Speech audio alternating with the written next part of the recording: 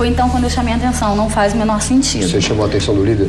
Eu falei com ele, ele estava comigo no carro e eu falei com ele, não, o fato, Daniel, o fato é mas que eu o erro existiu. que ele Só que foi um tinha, mesmo erro. tinha tido outro entendimento do dossiê. Houve um- um- realmente uma falha no entendimento. Ou seja, vocês foram chamados na sala, chamei a atenção disso, e vocês em quatro provas conseguiram errar em duas, nesse sentido. Ou seja, desrespeitar o dossiê.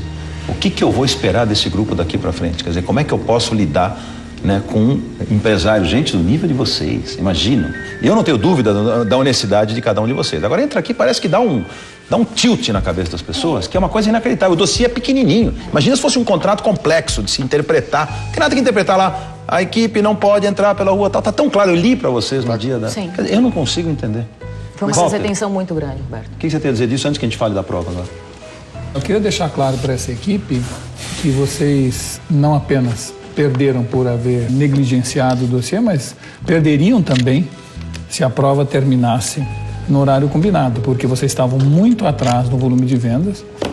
E, e eu acho que a gente deve con- conversar muito nessa sala de reunião é qual foi a estratégia de vocês para conseguir esse bando de gente vender apenas 40 cocos A gente buscou uma estratégia que gerasse uma margem maior, um valor agregado maior no produto. E qual foi essa estratégia? Que e eu tô era curioso. vender no varejo. Era vender de um em um, que a gente Contrário do que a gente sua estratégia, que era vender no atacado. Exatamente. Agora, já que você decidiu fazer pelo varejo, me explica o seguinte: vocês não produziram um folheto, vocês não decoraram a barraca, vocês não criaram faixas ou banners, vocês não fizeram etiquetas para caixa, não deram nome no kit, ou seja, vocês não fizeram nada do que normalmente se faz. A pergunta é a seguinte: como alguém pode querer ser sócio do Roberto se não acredita em propaganda e marketing? Está por trás de uma prova como essa? Né? Qual é o conceito dessa prova? Ah, será que está mandando vender coco, empresários maduros, gente?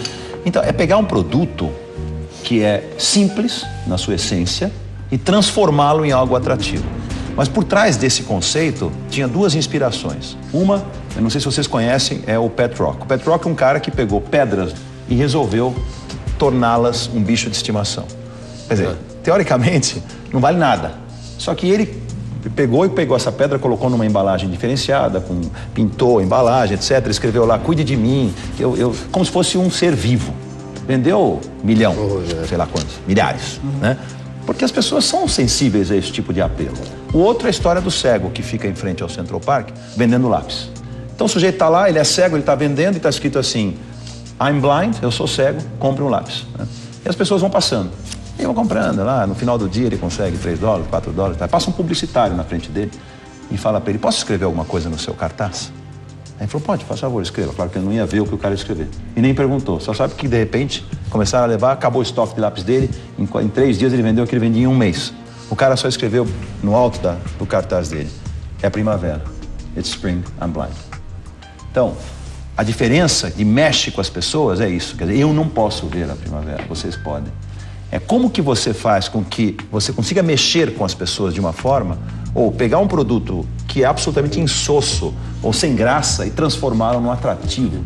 Então, pegar um coco, um kit que tem caixa, que tem abridor, etc., de repente pintar esse troço, de repente, sabe, fazer uma Embalar frase diferente. em volta dele, esse coco é o coco da sorte. Eu não sei o que vocês têm que fazer, mas ninguém fez, entendeu? A preocupação foi como vender, como desovar, como vender o pato. O pato era um evento, não era um, não era um pato que você ia vender. A gente pensou em colocar é, um material de marketing, a gente pensou em, em diferenciar o produto de alguma forma, só que o tempo, aí foi pela restrição de tempo. Exato, foi. A gente acabou decidindo por. Optando por não, não fazer, era- porque Nós, nós ligamos chegamos, gráfica. chegamos a tentar uma, uma gráfica que a gente utilizou na primeira Primeira tarefa. Ah, ninguém mais atendeu e a gente não tinha ali na hora Já nenhum outro, nenhum outro, acabamos optando por Vocês, abortar a 5 e ideia. meia da tarde até meia-noite, numa cidade como São Paulo, dizer que não tem uma gráfica Não. disposta a fazer uma faixa ou um folheto. Só liga para uma gráfica. não isso. A gente contato? usou o contato da que a gente tinha da primeira tarefa. né, E Aí acabamos, pronto, aí não deu, não vou procurar outra. E acabamos não buscando novos contatos. Porque ao mesmo tempo a gente estava com uma equipe menor embalando, buscando os pontos de venda para garantir que no dia seguinte amanhecesse já com a estratégia colocada em prática. Que estratégia colocada em prática? Armar uma barraca De varejo. e botar os cocos em cima. Isso não é estratégia. A estratégia A seria, operacionalização. Vou criar 5 mil folhetos, vou distribuir dentro, vou botar um brinde que vai concorrer a um sorteio, alguma coisa. Vocês não fizeram nada. Vocês pegaram aquelas caixas, botaram o coco dentro, Foram na porta da barraca, ele pediu inclusive a barraca pro dono da loja, nem, nem a barraca vocês fizeram. Ainda o cara deu uma plataforma, vocês botaram um pano em cima e acharam que we are in business, nós estamos já prontos para o negócio. Faltou entender que isso é um projeto de marketing, não é um, um projeto de venda apenas. É, é, é, a terceira vez que nós estamos falando a mesma coisa. Ou seja, parece que há um problema neste grupo de não ouvir. Vocês não ouvem o que nós falamos, vocês não ouvem o que a equipe fala. E não ler. E não lê. Então, tá parecendo aqueles três macacos que não vejo, não falo, não escuto, que não é possível. Agora, como é que foi a participação do É, grupo isso em que eu geral? vou- Porque eu estou vendo só você, o Clodoaldo Eu quero saber só se o, se o Daniel Nicolini está na reunião. Desculpa. Você está presente? Você Aliás, tá- é- aliás, parece que o teu farol baixo vem desde o começo dessa prova, segundo os relatórios. Nicolini, Cadê aquele relatório? toda, todo esse grupo que lhe acompanha na prova foi unânime em criticar sua performance. Dois kits o senhor vendeu. Primeiro, Nicolini disse verdade? que. vou, vou ler algumas coisas. Nicolini está disposto, sempre disposto a ajudar, mas na hora que precisa, nunca ajuda. Outro comentário. Nicolini Comentário foi uma sombra. E eu, infelizmente, estou tendo que concordar com eles pela sua ausência no processo dessa reunião. Não, eu estava deixando esse comentário, o Daniel estava respondendo. É, tenho, tenho dado opiniões, tenho tentado dar sugestões, tenho conversado, tenho dizente, acho que se vocês acham que eu não faço, que eu não tenho feito, é, vejam tudo como que eu tenho trabalhado, que eu tenho O que, desenvolvido. que você contribuiu dos- efetivamente nessa prova? Não, vai me, não, não me vende o Daniel agora, Não, fala dessa prova. Não, não, não, dessa prova, então, dessa prova. É, depois que nós é, discutimos, saímos juntos, procurar os pontos de apoio, eu estava com eles. Eu tentei comprar a ideia de buscar as embalagens. O carrinho que até a Adriana falou, vamos buscar o que você carrinho. não está concordando, Adriana? Foi. Você não, Porque ele não trouxe nada disso. Não, peraí. Ele pode ter Mas saído pra- você pra não buscar, mas você ele não deixou trouxe. Eu estava com o líder, chegamos até uma, uma distribuidora ali de, produtos, de materiais, entramos, tentamos negociar, pedimos autorização, não encontramos, saímos, fomos para outro ponto. Eu estava tudo junto com Você está eles. me contando uma coisa que vocês tentando não negociar. conseguiram fazer, só para entender que espetacular que é essa, essa, essa tua defesa. Você está me contando um fato de uma coisa que não deu certo. Não, porque esse fato das sacolinhas, das caixas, tudo, falaram, não, então deixa, não vamos até ao, ao mercado Então, para por que você tá me contando adquirir. Não, porque você falou que você não deu. Você não, Não, deu eu quero saber o que, que você fez de bom para esse grupo, não o que você não O que que conseguiu. você contribuiu? O que, que você contribuiu? O que você não contribuiu, nós sabemos um monte. Agora, você vendeu só dois kits, você foi apático durante a prova. Agora, eu quero saber o que, que você fez de Não, positivo fui, nessa eu prova. fui, fui, fui junto pra feira, levamos os carros, fomos pra feira, tentei lá. eh, tivemos outras coisas. Quando eu cheguei, eu fui, desci do carro rapidamente, fui tentar, eu abri o container, eh, ajudei a carregar. Enquanto vocês trabalhavam, eu comecei a montar os kits. Eu queria enfeitar o standzinho, já que nós tínhamos um lugar, para deixar mais bonito, colocar aqui algumas palmeiras, alguns cocos, fazer uma coisa interessante de. E A não- ideia não das deu. palmeiras foi minha. Eu sei, mas por que, que não Pera foi? aí. que, que me dá pena, Roberto, é que eles tiveram boas ideias. A ideia deles inicial era usar sexta-feira à noite para visitar academias e faculdades, vendendo os kits. Não foram.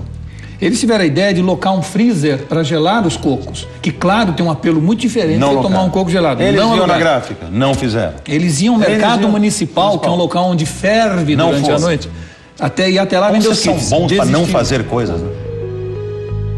Mas, Walter, olha só, essa ideia do freezer foi minha, a ideia de ir na faculdade foi minha. Eu não posso passar por cima do líder, Walter. Então a culpa é do líder. Não, eu não, A ideia da academia foi minha, do mercado municipal foi minha. Não é assim também, né, Cláudio? Não, mas Só quero entender. e aí, por que, que o senhor não implementou nenhuma das ideias? Simplesmente porque tinham restrições de prazo, de quilometragem. Peraí, peraí, já vou te Não, não é perguntar. bem assim, não é tudo, não é tudo, Clodó, também não é assim. Quer dizer, nós estávamos juntos, tá lá foi sua. O freezer não no, foi minha. fato, foi. Ah, tá. No Foi fato, duas coisas que eu falei, no fato do, foi dele no fato de nós irmos sair, não de foi rodar minha. em volta. Não, só responda foi isso. lá. No fato de rodar em volta foi lá. No fato do mercado Não, também você não tá foi minha. falando, Tá bom, você foi lembra da prova Tá bom, esse foi Sim, sim, não, Tá não. bom, A tá faculdade bom. foi minha Tá bom, esse foi. E aí? Então tá bom, foram duas ideias Tá que eu falei pra ele. Tá, mas não é tudo seu. Você não é o cara que faz tudo e a universidade. Eu só falei duas, Tudo que acontece na feira, que nem você falou, pô, foi o Claudio que fez. Não é assim. Não é assim. Eu falei duas ideias Na agora. feira fiquei que nem um Freezer, louco lá tentando negociar enquanto você freezer ficava. Então peraí. Então também não é assim. Peraí. O, o freezer e a universidade foi isso. Agora ele vai falar que tudo é minha ideia. Não é isso, só falei duas coisas. Posso falar um negócio? Por favor, tudo, conselheiro, fale o que você quiser. Eu vejo a Sandra apática nesse momento. Gostaria demais ah, ouvir você. Eu tô vendo você, Nicolini, mais tentando. Eu, eu tentei, eu tentei, eu tentei, eu tentei. Justificando. Justificando. Não, não é eu tentei. Só um minuto, mais falar, por favor. A Sandra, a Maura, ah, em nenhum momento foi citado a participação delas com ideias. Olha, vamos fazer isso, vamos pra cima. É, a ideia da academia foi minha. Eu acho que eu não tenho que contar isso como mérito. Ah, mas Isso não acabou de dizer que a ideia da academia foi a, sua. A ideia da Eu academia te- foi minha. Não, ele falou da faculdade. Tudo bem. Não, você falou academia. Eu falei da academia. academia. Eu falei da academia. E quem foi a ideia da academia? Foi da Pode, pode ser que ela teve, eu não escutei quando ela falou, e tive também.